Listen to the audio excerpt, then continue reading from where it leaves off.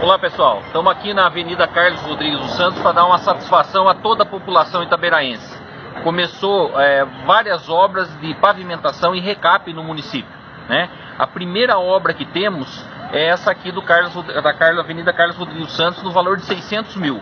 Está dando início ao recap, está fazendo a base, depois vem ainda o acabamento nela toda, né? Então é uma série de recursos, onde o primeiro recurso é esse do Carlos Rodrigues dos Santos. A segunda parte vai ser a recapagem, que vai ser na, na Coronel Zé Pedro de Lima, que vai ser do trevo do, do Lar São Vicente de Paula até o trevo lá em cima, na saída do asfalto.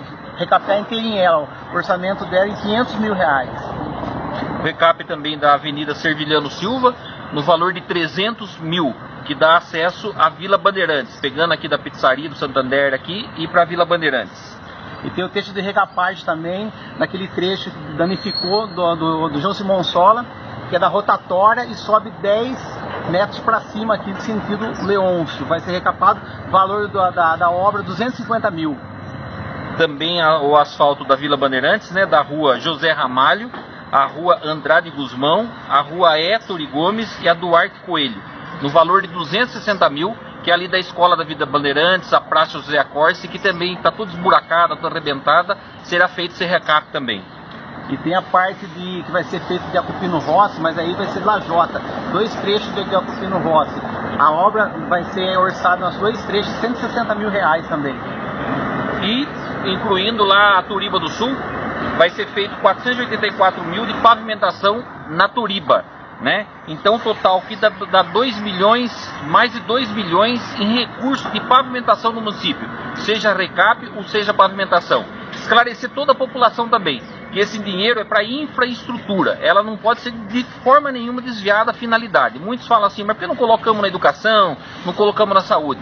É recurso específico para o município. Tem que ser para esse tipo de recap ou infraestrutura nas ruas do município. Então, se nós não, não corrêssemos atrás desse recurso, não poderia vir para outra coisa. É verba destinada, tá certo? Agradecer a todo mundo. Um abraço a todos aí. É um trabalho que nós estamos fazendo para o município de Itaberá. Vamos com força e fé que conseguiremos mais recursos até o final do mandato ainda. Essas são as obras de pavimentação e tem outras mais, são duas escolas que nós estamos fazendo, construções de salas de aula, postos de alimentação que nós estamos fazendo. Então são diversas obras, ah, dois recursos do BID que está em fase ou de licitação ou de processo de andamento. Melhorar a qualidade de vida do cidadão itaberaense. 460 mil da pista de caminhada que vai ser feito no Alceu Lopes lá em cima, onde já tem o campo lá, 460 mil para a pista de caminhada também. Que é o antigo recinto da festa da raia, né? 460 mil.